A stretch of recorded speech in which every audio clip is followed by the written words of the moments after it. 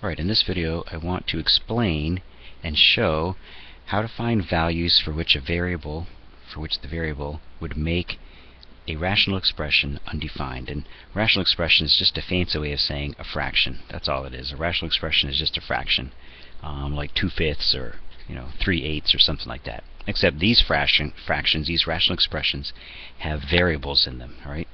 Um, so let me first start off by real quickly here reviewing something that you should, all math students should know.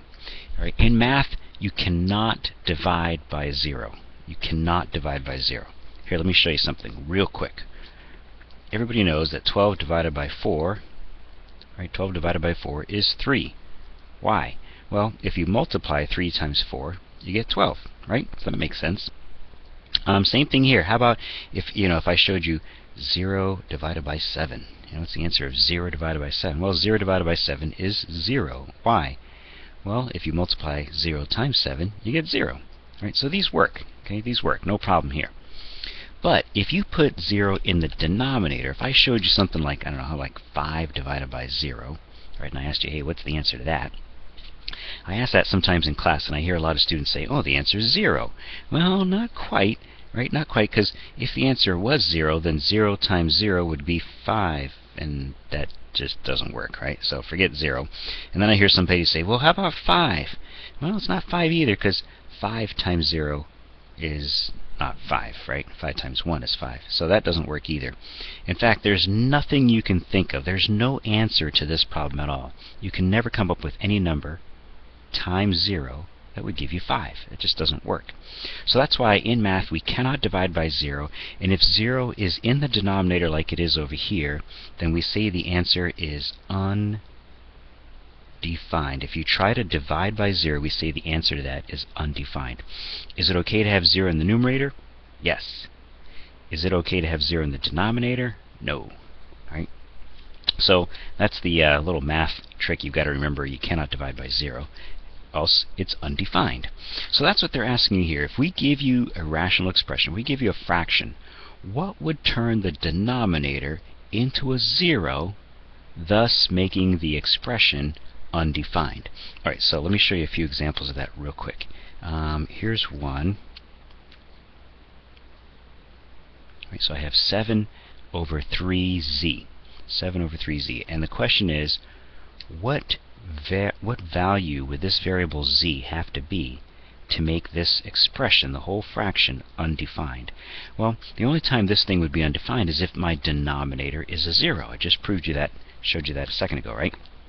So what I'm going to do here is I'm going to ignore the numerator and I'm just going to focus on the denominator for a second and I'm going to set the denominator equal to 0. Right, if you take the denominator and set it equal to 0 and solve this equation here for z, for the variable, then you'll get our answer. Well, if you divide both sides by 3, it's probably easy to see that z is 0. Is it okay to have 0 in the numerator? Yes, that is okay. So if z, right, this is what we're saying here, if z is a 0 and you plugged it in here, 3 times 0 would be 0, that would make my entire denominator 0, which would make this expression undefined. Okay, so if you were doing this in, say, something like my math, MyMathLab, that's what they're looking for, an answer of 0. All right, how about, um, how about this one? How about if I showed you m plus 2 over m plus 7, you know, something like that. And I said, okay, what about this expression?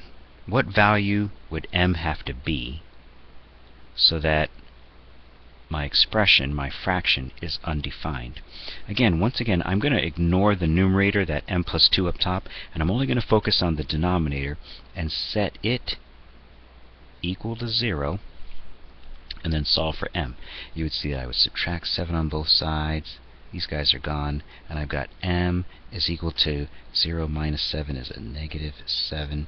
So look, if m is a negative 7, right, if m is a negative 7 right here, and I plugged it into this expression, well, let's see, negative 7 plus 2, that would make my numerator a negative 5. But do you see that it would turn my denominator into a 0? And we cannot divide by 0? That's what would make my expression undefined. Okay, let me show you one more example. How about in this case here? Um, how about, uh, let's see, we'll go p minus 5 right, over p squared minus 5p plus 4. How about something like that? Alright, so what would make this thing undefined? That's what we're being asked. What value or values, right, because there could be more than one, see the apostrophe, uh, see the parentheses s, what value or values, because there could be more than one. So far this one had just a 0, this one had just a negative 7. But in this last case, what value or values for p would make my whole expression, that whole fraction, undefined? Well, once again, let's start with taking our denominator, this stuff down here, set it equal to 0, right? Because we're looking to see to solve this thing for 0. And I hope you've learned already that you can factor the left-hand side. You can factor the left-hand side into p and p. Hey, see that plus sign? I know my signs are going to be the same. They're both going to be minus. I showed you that in another different video. And let's see, I'm going to split up 4 into uh, 4 and 1. And I also showed in a separate video that you can just jump straight from this factored form into the two answers. I'm running out of room, so I'll do it over here. How's that?